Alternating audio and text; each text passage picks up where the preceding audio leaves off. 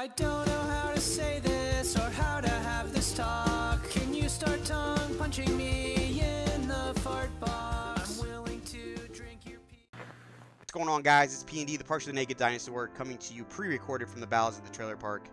My son's birthday party is coming up this Saturday. He's having a Fortnite party, but me and my wife are finding uh, Fortnite stuff anywhere is impossible. Um, for some reason, Fortnite doesn't have their license out to enough people um, or something because I would expect them to have, you know, balloons, banners, um, Halloween costumes, Fortnite related, and it's just not out there.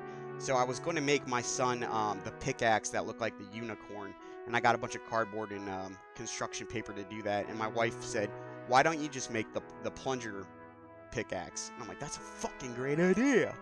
So um, we went to the dollar store, got a plunger, a uh, plastic sword, and super glue. Spent a dollar a piece on each one of them, and the end result, we created this badass pickaxe plunger replica. It's not completely game accurate. The um, game accurate one would have a red plunger top with a sword with a blue handle and a pine uh, wooden shaft. So I'm going to show you guys how to make this. I'm not going to make that exact one. I'm going to make a custom one just to do it real quick to show you guys um, how I made the first one. Um, and I'm going to show you guys how to make this for $3. It's really cool if you're a Fortnite fan um, or have a friend that's a Fortnite fan to make a good present just to sit up on the mantle because um, it is really fucking cool. So here we go. I'm going to show you how to make it. First, you're going to want to take the plunger part of the plunger without the stick on. Um, and you want to decide if you're going to go completely game accurate, you're going to spray paint this red. So this part would be red for screen accurate. So you're going to spray paint that. I'm just going to do one, um, a custom one. So I'm going to go right down the middle. I'm going to draw two pencil marks. Um, it's best to use pencil or white crayon. White crayon probably shows up a little bit better, but I couldn't find one. Um, and then you're going to cut. This is very important because the first time I did this, I cut twice and the hole was too deep. So you're going to make one cut right down the middle. Make sure you don't cut yourself right down the middle. This one's a little tougher than the last one. Go.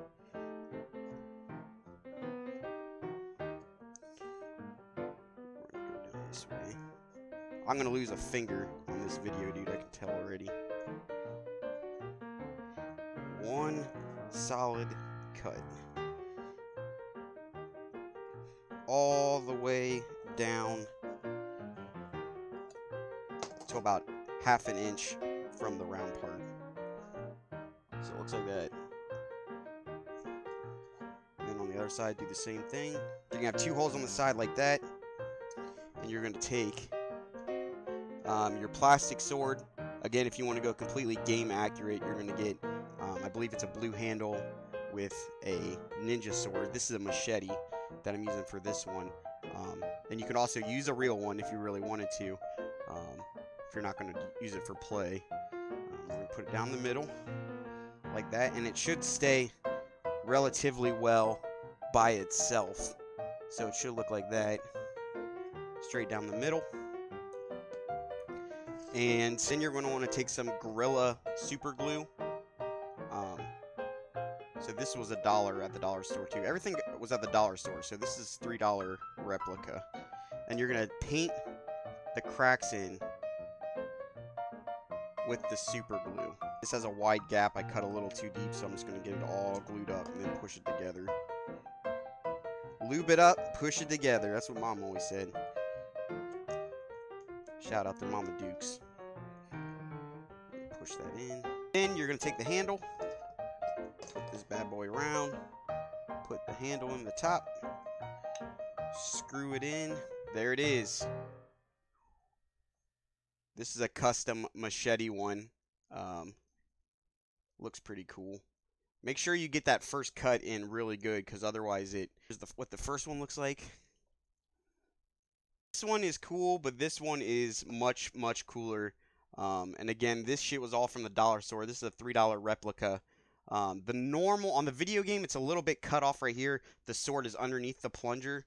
Um, but get a medium sized plunger because this is a bigger one, and cutting it in half was really fucking hard. So I highly recommend getting a medium-sized plunger head with a wooden spout. Um, If you want to make it completely game accurate, it would be a real sword with a red plunger head and a um, coated wooden rod. I think they have like a walnut feel to it. But yeah, that's it, man. Three bucks. Until next time, guys, don't poop in the lake. P&D stream. I'm out.